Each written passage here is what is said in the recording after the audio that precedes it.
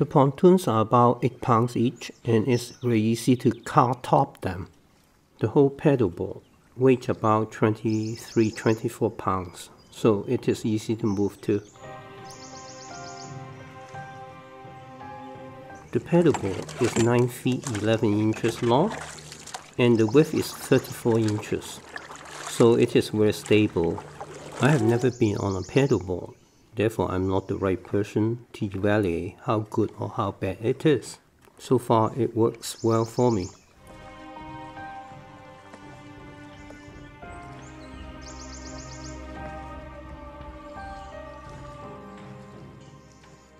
Let me try to stand up and pedal it like a pedal board.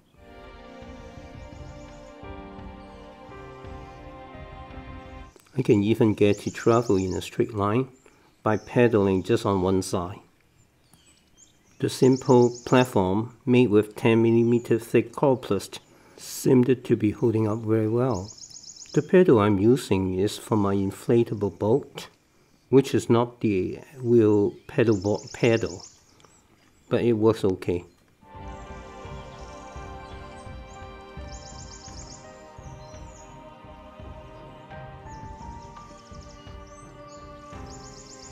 Because the width of the boat is at 34 inches, it would be nice to have a longer kayak pedal.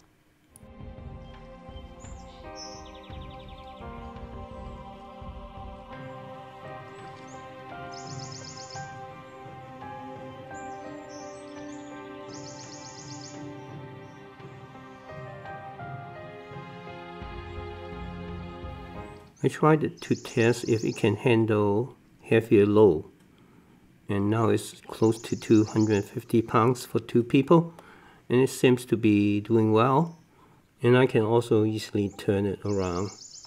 The tracking is good because on the platform I have extra few inches protruding out beyond the bottom of the pontoon and that becomes the fin for the boat.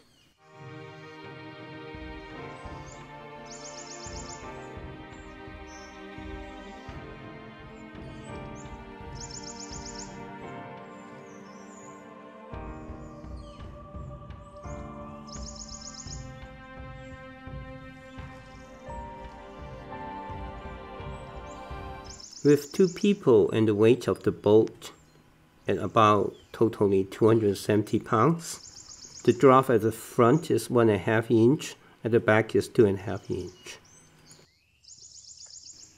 The platform seems to be good enough for a person at 140 pounds. But if I load the boat to 250 pounds, the platform bent slightly I need to make the platform stronger. A big unknown is does it leaks? And I open up a few holes and insert in a little bit tissue paper and see if there's any water inside. And there's a little bit. My guess maybe a few ounces. I don't know where it comes from, maybe from condensation. But it doesn't bother me, and I believe the pontoons are usable. In my next video, I will show you how I fixed the platform problem and also doing the second water test. If you find this video interesting, I appreciate you support me by give me a like or subscribe to my channel so that this video will reach more people. Thanks for watching. See you again. Bye.